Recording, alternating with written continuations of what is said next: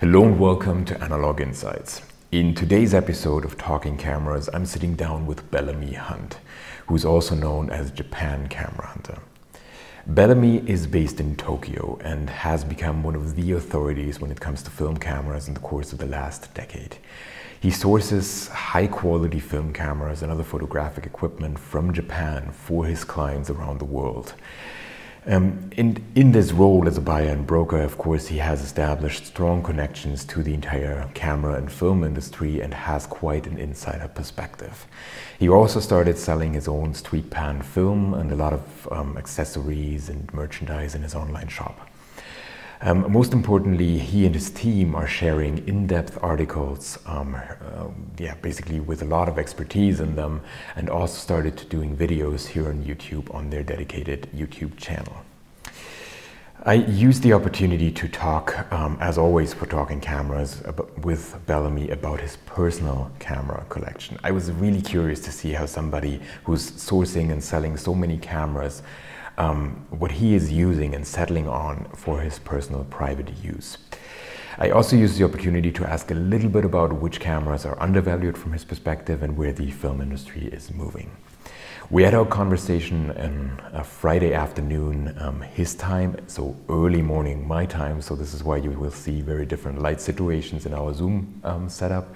And as it's a Zoom call, of course, the quality is always a little bit limited, but we try to make the best out of it. We hope you enjoy our conversation. Um, let's get started. So, hi, Bellamy. Thank you for taking the time um, to sit down with us here today. Um, as a first question, it would be great if you could um, introduce yourself to the audience. They've heard a small introduction, but of course, it's more interesting to hear it in your own words. Um, so, who is Japan Camera Hunter, and yeah, what exactly are you doing? Hi, Max. Well, thanks for having me on the show. First of all, I really appreciate it. Um, who is Japan Camera Hunter? Well, I, I guess, am Japan Camera Hunter, but it's so much more than just me now. Um, things have changed quite a lot. But when I initially started, I, Bellamy Hunt, um, started the business as Japan Camera Hunter, initially sourcing cameras in Japan. Um, and as the business developed, I started working with companies to supply lenses and custom cameras and and it evolved into so much more that it's not just me anymore. I can't call just myself Japan Camera Hunter. We have a team as well now, um, who who shoulder a lot of the responsibilities too. So, um, yeah, I've been in Japan 15 years, and I've been doing this. I've been working as Japan Camera Hunter for 10 years now, and we just celebrated our anniversary last year, in fact. Wow, this is really impressive. So obviously you're quite an authority in, in the field. And um, coming from that perspective, I was instantly curious um, for this format for talking cameras, um, what your personal collection looks like. And for today, you brought a couple of your personal cameras. Um, some are already known to people who know you well, others are not so much. Um, so what is the first one that you brought? So um, the first one I have, I'm going to show you. Sorry, I had to move things out the way because I have a desk full of cameras. Um, the first one is my Leica MP6, um, and this camera is very special to me. This was my first real, uh, real serious camera that I bought for myself when I started working as you know doing Japan Camera Hunter, and I before I'd actually worked at Japan Camera Hunter, I had this list of cameras that I'd wanted to own, and I worked through the list until I'd had them doing the Japan Camera Hunter job. And then one day I saw this MP6 available, and I thought to myself, you know, I've worked really hard. Um, this is this is something I want for me not not to put on sale, not to flip or whatever. I I I'm denied about it for all of about 30 minutes and then you know bought it. And it's never left me since. It won't leave me. It's not going to be for sale. Um, hopefully i'll pass it on to my son if he takes to it. So yes this is my mp6 This is an incredible camera, especially for shooting it, right? Because many people would say this is more of a collective piece. Um, I think this is a Japan only camera, right? It's limited yeah. to 250 pieces or so. Yeah. So, yeah, a lot of people consider it a collector's piece. And in fact, when I bought it, I had um, several people comment to me, like, why are you using this thing? You know, you should just put it in a box. And I thought, what's the point in that? This is my camera you know, why, why would I do that? You know? um, so I actually made a comfort, uh, a conscious effort to really not babysit it at all, um, and just use it as it was intended. And for, for me, that's, that's all I've ever wanted from it, really. Yeah. And this is great, and then makes it even more unique. Um, looking at the 250 pieces, probably it's one of the only ones being used as much as in your case, just I, I dangling around your neck, right? I know a few people who are using them who I have convinced to use them, but um, yeah, generally it's a lot of a lot of time you see them on the market. They're in a fresh box. They've never been used. They've been handled with white gloves. Fair enough, but I'm not doing that with mine. Sounds great. So, so moving on from, from this camera, um, what else do you have on the table? I think there's another Leica somewhere. Um, yes. So, following that up, put that one over there safely so I don't do anything silly. Um, the next one I have is another Leica. Um, this might come as a surprise to some people, but um, because for SLRs, people commonly associate me with the Nikon F, which is one of my favorite cameras. Um, unfortunately, I don't have one because I keep on buying them and then selling them and then thinking, oh, I can just get another one. But um, I have got this, which is Leica R8, and I've had this for a while now, and I've really taken quite a shine to it. Um, I bought it, well, I was I actually acquired it, and um, I I didn't think I would use it that much, and we decided to make a video about it, and I ended up using it a lot, and decided, yeah, I'm going to keep this one um, until it doesn't really work anymore. Uh, bought le another lens for it, and I've I found it a really enjoyable camera to use. The Hunchback of Solms, as it's known. Um, it's bulky. It's it's not beautiful. Um, it will probably break at some point, and I won't be able to fix it. But that doesn't really matter to me. Um, to me, it's more important that I'm just enjoying myself using this camera, and it does give great results as well. So this is what I read. Like it's one of the most advanced film cameras that Leica ever created, and um, at the same time, it's really dividing the community because of the design. Some people even love it, and others just say, "Okay, it's super yes. ugly." Yeah. yeah, and it came too late because it didn't have enough. You know, it was the most advanced camera Leica had ever made, but it wasn't advanced compared to the other SLRs on the market at the time for a lot less money. Yeah. And so it was a bit of a shame. It's it's a dead end road in terms of cameras, but I love it. I I've really enjoyed using it, even though it's unwieldy. Um, the finder is beautiful, and of course those Leica lenses, you know, really sharp, lovely quality lenses. So, yeah, um, it's become a, a regular in my roster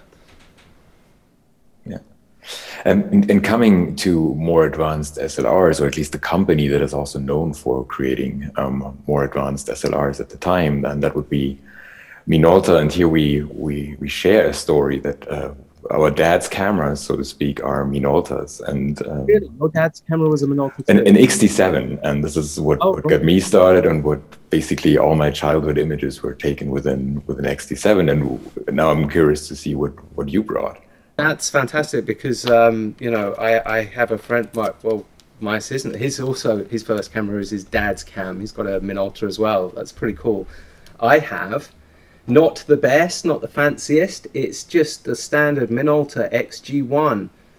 Um, but this was the camera that my dad used, and um, I relieved him of it at the age of about 14 and and just started shooting like crazy with it. I fell in love with it uh, the way you could you know the slr system where you could change lenses and mess around with filters. And i it, it started me on my photography journey. Um, it still works. Not fully. The light meter doesn't work anymore. Can't have that repaired. Um, but it's still working and it's still taking pictures, and I still put rolls of film through it fairly regularly. Um, it to me, it's I mean, monetarily, it's worthless, effectively, you know. But to me, this is probably the the most valuable camera I own, mm. um, just because of the connection uh, to my father and and to where I sort of came from in my photography journey. It, it really means a great deal to me. So and I've had my son shoot this as well, so it's oh. gone on to the third generation, which yeah. is great. That's amazing, and and right, you're using it with the original strap. Um, yes, the original it, strap.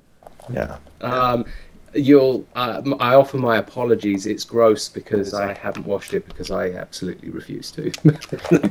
Yeah which i understand. And it's also it's the nice logo right? The rising sun oh, logo at yeah, the front and all that. it's brilliant. It's, yeah. it really is. Um, i mean it's an xg1 it's not a great camera. It's it's really basic but i don't care it, it works for me and i've got some great pictures out of it so yeah Moving on to the next camera, you also have something in the lineup that is not that surprising, um, something from Nikon.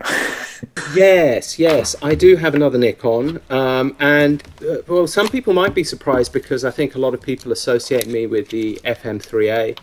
Um, and this actually isn't an FM3A at all. This is uh, an FE2 um, which really isn't that special, actually. Um, it's a fairly, I mean, the FM2 is probably a better camera, but again, this this is another important camera to me because this was gifted to me by my father-in-law. Um, and he found it in his cupboard and said, when we only really first just met, and he said, "Oh, I thought you might like this," and he pulled it out the cupboard and he gave it to me, and I it worked, and I was like, wow, fantastic, thank you so much. Um, and I've had it uh, refurbished since, and I uh, I put a Nikon lens on it. I put a Nikon uh, 45 AIP, which is the one which is for the FM3A. Exactly. Um, yeah, and but I really like that lens. A lot of people don't, um, but I do, and so that lens sits uh, permanently on this camera. Um, and yeah, it, it, I love the way it works. It's again, it's an heirloom camera. It's not the best, but I've taken some great pictures of it. I've taken some very personal pictures, family and things. So it has uh, an important meaning to me, and I think you can probably see a common sort of thread through there, through the collection so far yeah definitely. And and regarding that lens um, because you mentioned many people don't like it. When i when i mentioned to jules um, that you have that lens i got these drooling emojis back. Like yeah this is like a yeah some I, people like it and others are just very indifferent towards it. Um, some people consider it to be quite flat. Um, i've found quite the opposite in some cases. Uh, it takes a bit of getting used to perhaps maybe but I've always enjoyed shooting it, so it, it's just lived on this camera. Uh, I don't think it's ever come off. Okay, great. Despite the fact that it is really designed for the FM3A, yes, right? Yeah. Well, and this is the thing. Um, I will eventually have an, uh, an FM3A. I think it's an outstanding camera. Um, I've I've owned many many of them, mm. and they pass through the doors. And every time I think, yeah, I should keep one of these, and then it goes and sooner or later I'm going to just keep one, and you know because this the FE2 this won't last forever and it's very difficult to repair now. So eventually this will sort of be put into the uh, into the cabinet, and an FM3A will take over the duties on that one. Yeah. And speaking of patterns, what I found interesting is that it seems like since it's your job to buy and sell cameras, you need to have these really strong personal connections to have a good reason to hold on to a camera. Otherwise, it's yeah, there's always a, a, a buyer out there, right? Yes, uh, and I found that very quickly because you can't keep every camera that you want. Um, so when I started, I was very excited and I wanted to keep everything, and I couldn't do that. And I quickly became aware of what I wanted from a camera more than just monetary value or or I needed a real connection to keep something. Um, and and that's sort of become quite important for me now. I think I I do have collectible cameras, but they are they're just more investment than anything. Mm-hmm. Um, it, these ones would never probably be for sale. I don't think. Uh, I think if I if anything, I'd probably just you know give them to a friend or family members. You know, um, to me that's more important. Yeah. And speaking of personal connections, the next camera actually carries your name, right? It's a it has some kind of Bellamy in there. Version of my name, it does. Yeah, this one is um, this one is an awful camera. Um, uh, it really is. This is the Chinon Bellami. Um, it, it it's nothing special. In fact, it's pretty awful. but it's got my name on it. Um, not the exact spelling, but it has my name on it. And the funny story is with this camera, I was working um, for a, a, photography store in Tokyo, and I had just left the company, and I just set up Japan Camera Hunter on my own, and I was going to a camera fair, and they had a stall at the camera fair, and my ex manager, I guess you could call him, beckoned me over, and he said, "I've got something very special to show you. You'll love it." And he makes a big fuss out of pulling this box from underneath the table and he pulls out this and he just starts laughing. and he goes, I found your camera. and I said, Brilliant, right, I'll take it. How much is it? And he said, Oh, it's 8,000 yen, but for you, 12,000. and I said, "Oh, thanks very much." Um, he, he, was joking. He gave it to me for a really nice price, but um, yeah, it, it's not a great camera. It's, it's in fact it's pretty awful, but it doesn't matter. It's fun. I've had a lot of fun playing with it. I've taken it out plenty of times. The lens is a bit foggy. The finder's a bit foggy. The flash doesn't work. Who cares? It, how many people can say they have a camera with their name on it? Right. Yeah. Yeah. That's a super cool story. Yeah, especially that. Yeah how yeah. he presented it to you, it sounds like okay, this is like a unique Leica piece or whatever he found, and yeah. it's just yeah. this. Yeah. He had me going. He really did. Yeah. Yeah. So moving on to the last camera, um, yeah. this one is a really weird and odd one, I would say. Yes, this is um, again. People associate me with high-end premium compact cameras, and yes, I do sell them, and yes, I see a lot of them but I personally don't shoot them, not anymore. Um, they've become, I think, again, too expensive, perhaps, and too fragile. And this camera is not fragile at all. This is the Konica Genba Kantoku. Um, and this is a construction camera. It was built for uh, construction foremen to take measurements and records and photographic records of building sites and work sites. So it's waterproof, drop proof, sand proof, dust proof. I actually initially bought uh, a few of them. I bought one for myself and one for my son because my son at the time was five, I think, and I wanted a camera that was pretty indestructible. That's perfect.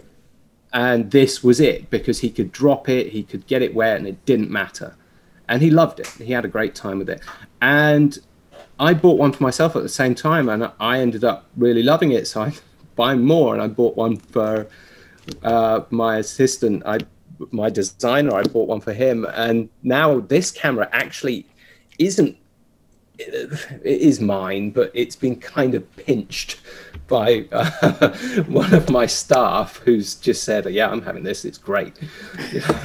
um, so I'm probably going to have to prize it back from him at some point, but. Um, I like it because it's got a great lens. It's got this fantastic 28 millimeter lens on it, and yet you don't have to baby it. You don't have to worry about it. You can just, I mean, I can sling it over my shoulder while I'm riding my bike and not care.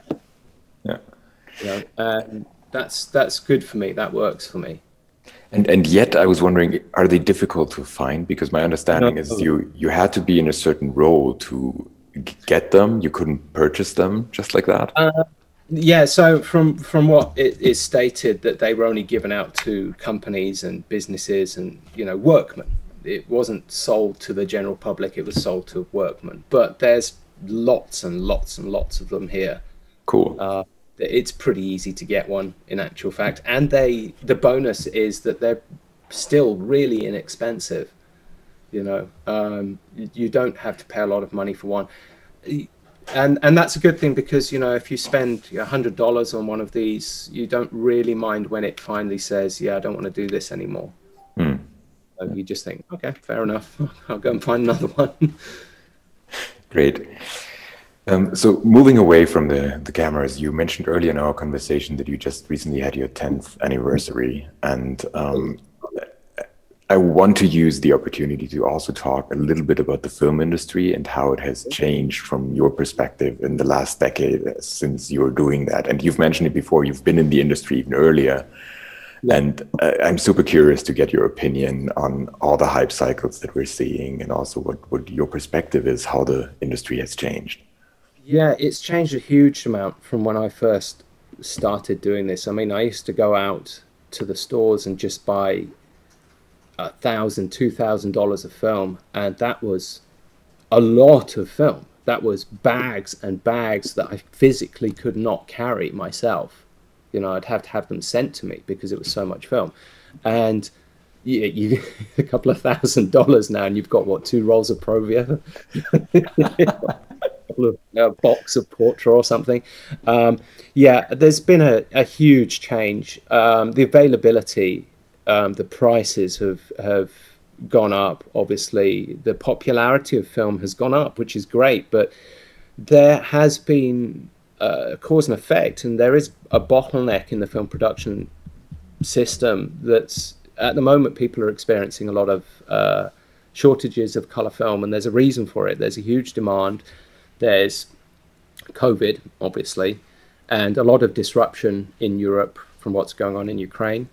Um, so this has had a, a, huge impact, but you've also seen consolidation of some of the larger companies um, so that they can make their business a, perhaps a bit more streamlined, um, work better. You're going to see uh, in the future, I think, a lot more. Uh, I think there's going to be more ranges of film coming. I think there's going to be.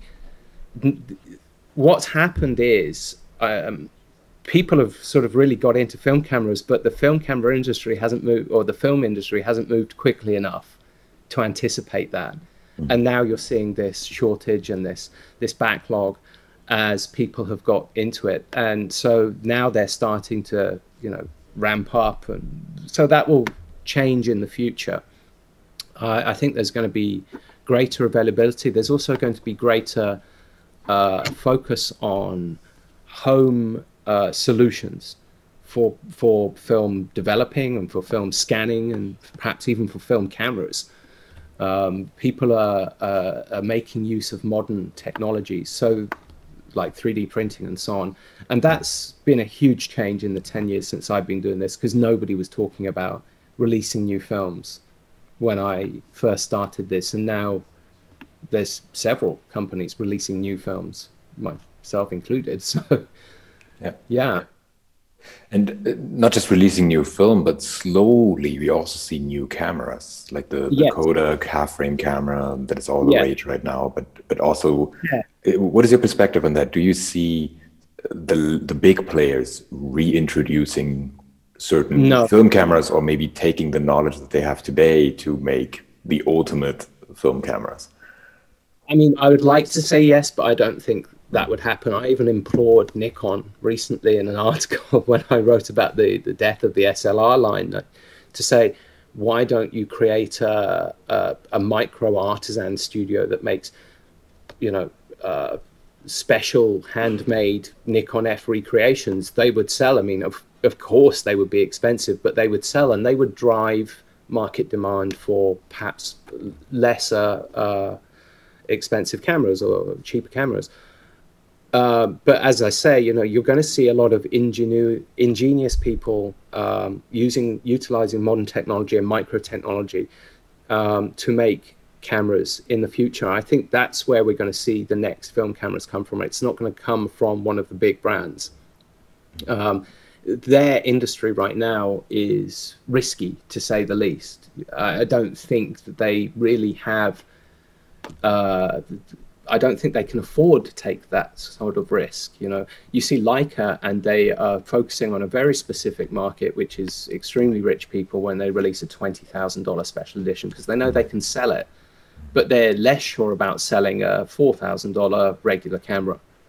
So, um, yeah, I think the future is homebrew, um, or or even new companies perhaps even I, I, think maybe as we saw with Yashica, but Yashica was a real sort of mess.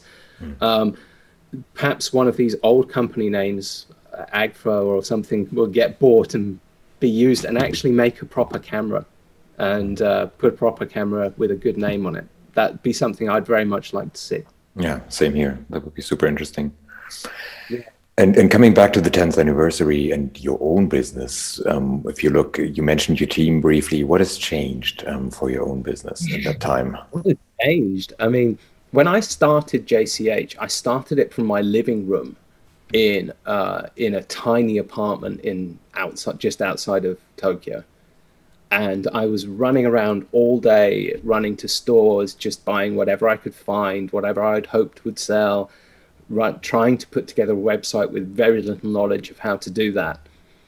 Um, but I knew what I wanted to do, and so I pushed really hard. I had a better website made. I, I started working on you know my own products like the film cases and things like this, and within the space of two years, I'd gone from that to a bigger home office to the point where I okay, I need a separate office now. I can't I can't do this from home anymore.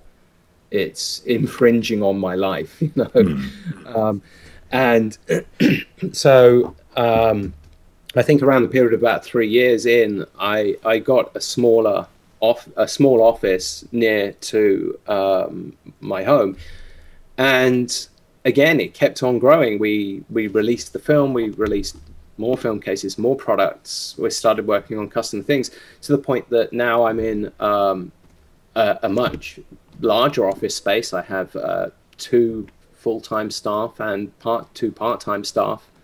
Um, I have a designer, a marketer, um, admin. So yeah, a lot has changed. It's I never expected it to become this, and I'm overjoyed that people have supported me enough that it has become this. And, and if I may ask that on a personal level,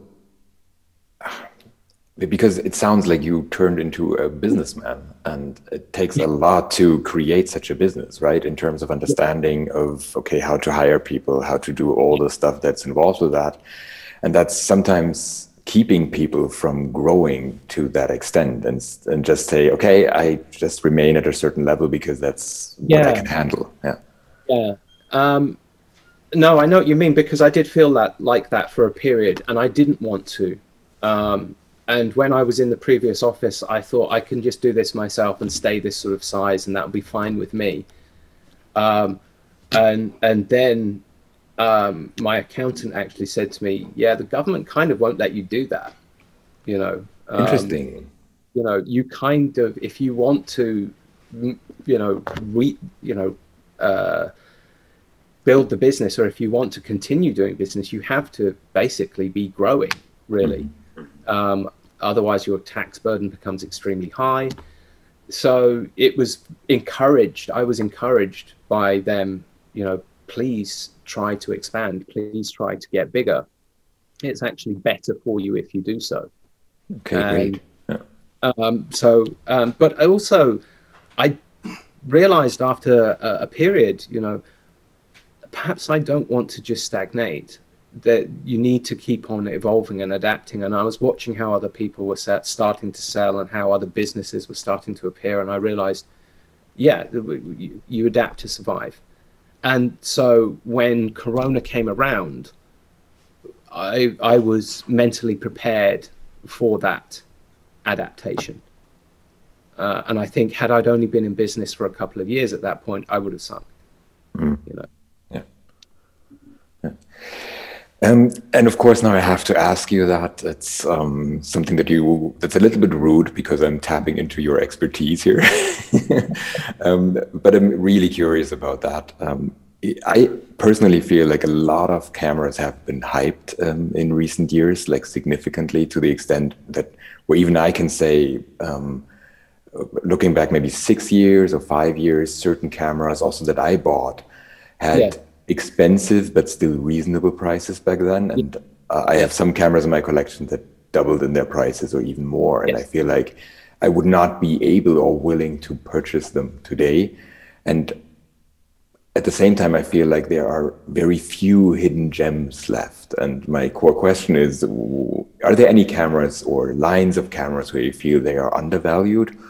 Or has everything uh, been discovered by now? Well, that's the catch 22, isn't it? Because yeah. I'm partially responsible for making some of these cameras hyped and, and, you know, through increasing awareness of them and therefore people want them more and supply and demand so the prices go up and so every time I post something on Instagram or something on YouTube, people go, "Oh, great, thanks a bunch. Now, now we can't, afford, afford these." Same here. It happens to me as well. Yeah. If I start telling you a list of cameras, people are going to be furious with me. But um, uh, I still think Nikon uh, SLRs. I still think Nikon SLRs, F, F2s, F3s, uh, they are, you know, accessible. They are relatively still inexpensive. Um, the prices have remained fairly steady, and, and you get a lot of camera for your money, an awful lot of camera for your money. And I think you would be better off spending three, four hundred bucks or, or more on one of those than than chucking some money into a, a, a compact camera that might perhaps not work so um, or might die after a year. So I, I yeah, I'd like to say Nikon are still underrated in many ways. Mm. And anything um, else that you can think of? Yeah. Uh,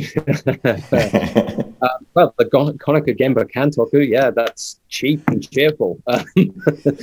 um, yeah, it, the problem is uh, there is still a lot of cameras that are unrecognized, but they are hard to repair or impossible to repair in many cases, which makes them perhaps less valuable. I, I don't want to recommend somebody goes out and buys something and then it breaks on them immediately. But um, Olympus XA, Olympus XA, XA2s, they're still cheap. They are brilliant. They're pretty much easy to, well, they are easy to use.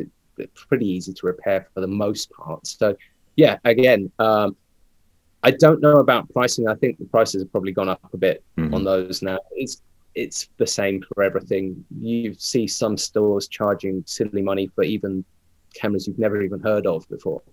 Yeah. Um, it's a case of just having your wits about you, and um, if you see something that's that's that you want, get it now because it's only going to go up.